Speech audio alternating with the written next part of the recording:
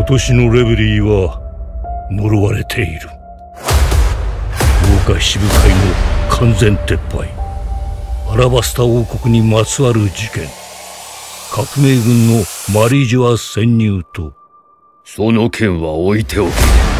うん今こと急ぐのは和の国だここまでの戦いになると一体誰が想像した？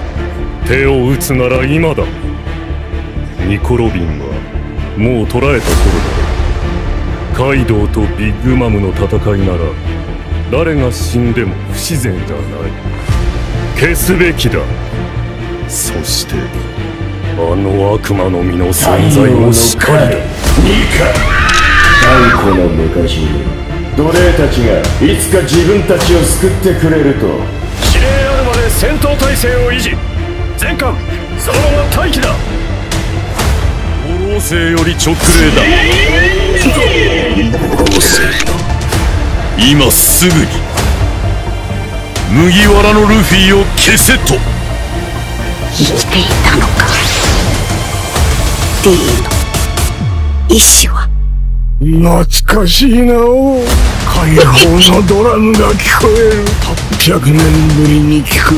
間違いなくそこにいるぞ。兄者って。さよう800年前罪を犯した。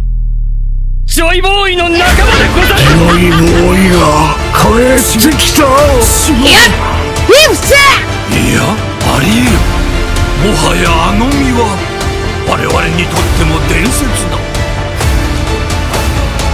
過去何百年も覚醒することなどなかった。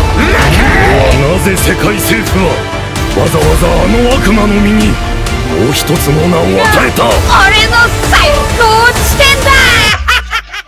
歴史からその身の名前を消すためだろう